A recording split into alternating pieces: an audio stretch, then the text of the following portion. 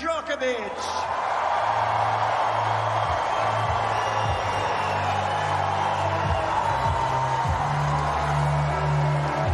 I mean, I get goosebumps here, Nick, just uh, being, what, 4,000 miles away from Australia. How is it when you walk out into that arena in front of your home crowd? Do you get the goosebumps still, or is it kind of just like, oh, I'm used to that now? Do you ever get used to that?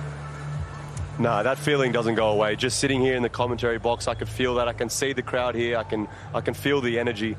It's, it's amazing, you know. It, and, and I was just thinking about it. I can't wait to get back healthy to, to feel that once again. But I can assure you, when the youngster heard the crowd just then, when Novak walked out, he's, he, that's, it's starting to hit him right now. Nick, we've got one final question. Are you getting FOMO Yep. right now? Uh, I am. I would, I would love to play Novak in these, in these conditions. It'd be amazing.